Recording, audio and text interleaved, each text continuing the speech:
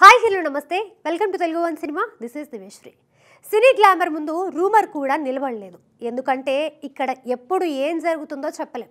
I mean A combo silver screen మీద అడుగులు మోపడానికి ready అవుతుందా అని.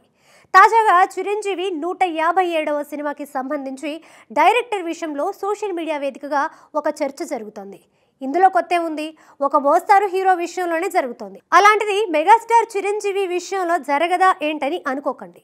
ఈసారి జరిగే చర్చ మాత్రం అంతకు మించి. సందీప్ రెడ్డి వంగ. ఇప్పుడు ఈ పేరు చెబితే ఇండియన్ సిల్వర్ స్క్రీన్ వద్ద ఫుల్ వైబ్రేషన్. అర్జున్ రెడ్డి కబీర్ సింగ్ యానిమల్తో ప్రేక్షకులకి మోస్ట్ వాంటెడ్ డైరెక్టర్గా మారాడు. పైగా ఇది సందీప్ రెడ్డి సినిమా అని చెప్పుకునే స్థాయికి కూడా ఎదిగాడు.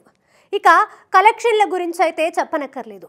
ఇండియన్ టాప్ టెన్ మూవీస్లో ఒక్కటిగా ఉంటుంది. ఇప్పుడు సోషల్ మీడియాలో చిరు నూట యాభై ఏడవ సినిమాకి సందీప్ దర్శకత్వం వహిస్తున్నాడనే ప్రచారం జరుగుతుంది. దీంతో చాలామంది ఇది పుకారు మాత్రమే అంటున్నారు. ఎందుకంటే సందీప్ ప్రస్తుతం ప్రభాస్ స్పిరిట్కి సంబంధించిన పనుల్లో బిజీగా ఉన్నాడు.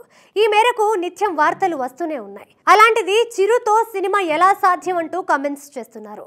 వాళ్ళు అనుకునేది నిజమే. Chiru Vishwambhara next year release అవ్వబోతుంది. ఆ తర్వాత కొంత విరామం తీసుకోవడం పక్క.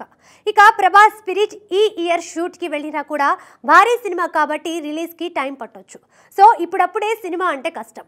ఇక ఈ న్యూస్ చూసిన మెగా అండ్ సందీప్ ఫ్యాన్స్ కొంచెం లేటుగా అయినా ఈ ఇద్దరి కాంబోలో సినిమా రావాలని కోరుకుంటున్నారు. ఇండియన్ బాక్స్ ఆఫీస్ వద్ద ఆ మూవీ సరికొత్త రికార్డులు సృష్టించడం పక్కా అనే అభిప్రాయాన్ని కూడా వ్యక్తం చేస్తున్నారు.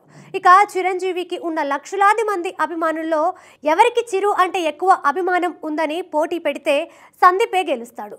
ఈ విషయాన్ని స్వయంగా సందీపే చెప్పాడు.